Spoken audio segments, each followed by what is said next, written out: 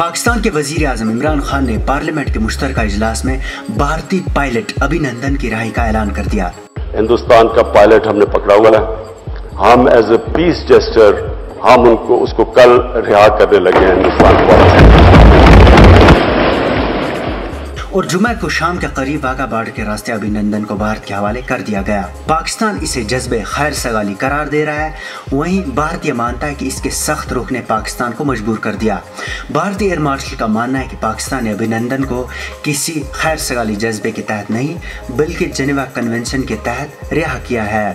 بھارت نے رہائی اعلان سے پہلے کہا تھا کہ پائلٹ پر ڈیل کی کوئی بات نہیں ہوگی۔ ہم اس کی واپسی بغیر کسی شرط کے جلد از جلد چاہتے ہیں۔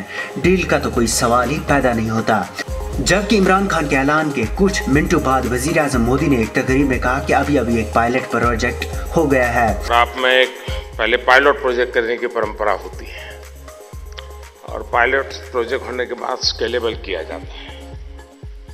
تو ابھی ابھی ایک پائلٹ پروجیکٹ ہو گیا۔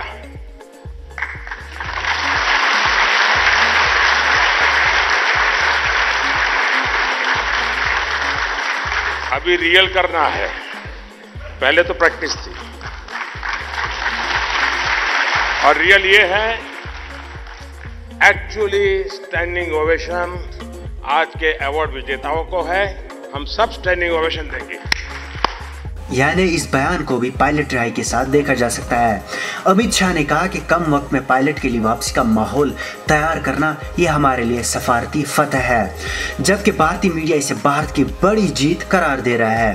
وہیں پاکستان کے ریلوے وزیر شیخ رجید نے کہا کہ اگر انہیں واپس کرنے کے بعد بھی بھارت نے حملہ کیا تو کیا ہوگا؟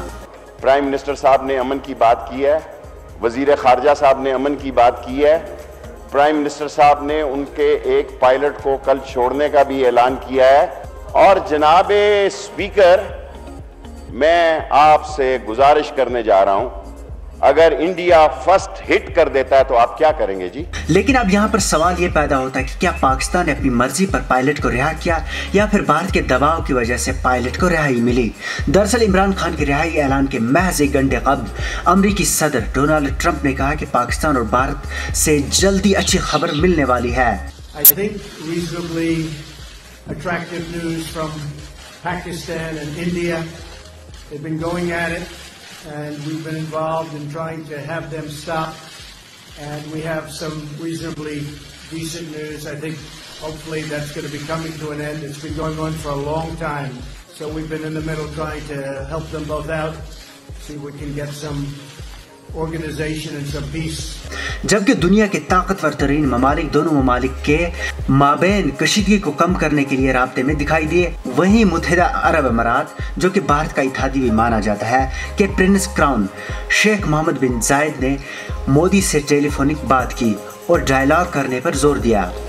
وہیں تیسرا ہے سعودی عرب، جس کے crown prince Mohammed bin Salman کچھ ہفتے قبل پاکستان اور بھارت کے دورے پر آئے تھے۔ اور اب آج ایک بار پھر سعودی وزیر خارجہ Abdullah al Jubeir M B S کا اہم پیغام پاکستان کو دینے آئے ہیں، جبکہ دوسری طرف بھارت میں سعودی مشیر نے جمعرات کو مودی سے ملاقات کی تھی۔ ادھر بھارتی سیاسی پارٹیوں کا پائلٹ ابھی نندن کے رہائی پر کیا ریاکشن رہا؟ کانگریس نے کہا کہ ہمیں راحت ملی کہ پاکستان حکومت نے ہمارے پائلٹ کو رہا کرنے کا اعلان کیا۔ نوجوت سنگھ سدھو نے کہا کہ عمران خان آپ کی جذبے خیر سگالی نے اربوں لوگوں کے لیے خوشی کا سامان پیدا کیا ہے۔ صحافی راجدیپ سردیسائی نے لکھا، شاید ہم بھارتیوں کو یہ پسند نہیں آئے، لیکن اخلاقی سطح پر عمران خان کی جیت ہے۔ ریاست سے عمر عبداللہ نے لکھا کہ چلو امریکہ نے پائلٹ کی رہائی کو یقینی بنا کر ہندوستان کو کشیدگی ختم کرنے پر راضی کیا۔ وہیں انہوں نے لکھا کہ مجھے خوشی ہوئی کہ ابھی نندن واپس گھر لوٹیں گے، میں خوش شو عمران خان نے ان کی رہائی کا اعلان کیا۔ محبوبہ مفتی نے ابھی نندن کی رہائی کو عظیم فیصلہ قرار دے کر کہا کہ میری نظر میں یہ مفاہمت کی ایک علامت ہے۔ حریت کانفرنس کے چیئرمین میروائز عمر فاروق نے لکھا، پاکستانی وزیر اعظم عمران خان کی طرف سے پائلٹ کی رہائی کا فیصلہ خوش آئند ہے۔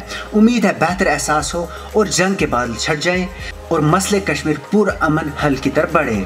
نیشنل کانفرنس کے صدر ڈاکٹر فاروق عبداللہ نے پاکستان کے اس قدم کو میچور سٹیپ قرار دیا اور کہا کہ اب بال بھارت کے کورٹ میں آ گئی ہے۔